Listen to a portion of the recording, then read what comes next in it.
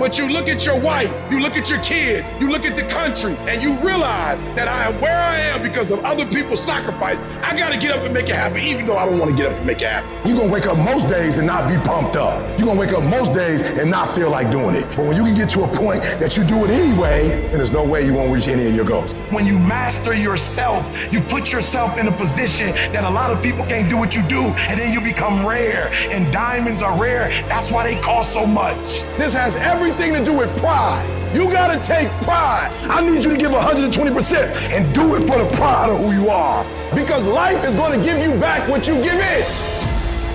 What does a $500,000 a year person do that $50,000 a year person doesn't do? He does everything he's supposed to and a little bit more. He works hard and a little bit more. He makes money a little bit more. He saves money a little bit more. There's no easy way to the top. If you want to win in this life, you got to do what you're supposed to and a little bit more, and you can't ever stop at the finish line. You know what you got to do to hit a golf ball like me? You got to get up at 5 o'clock in the morning. You go down you hit a thousand golf balls. You hit so many golf balls that your hands starts bleeding. Then you run up to the clubhouse, you wash that blood off your hand, you slap a bandage on it, and you go down you hit another thousand balls.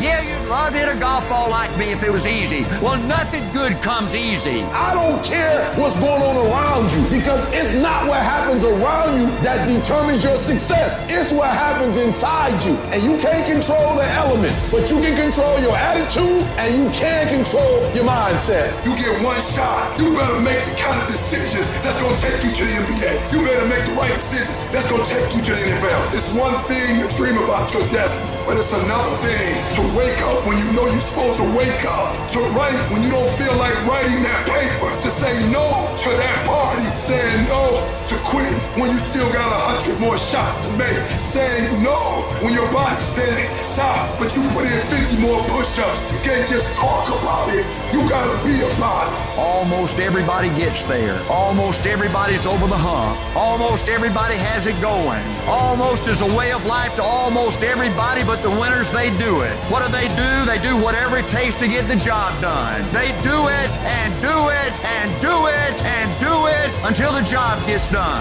And then they talk about how great it is to have achieved something unique and how glad they are that they didn't quit like everybody else.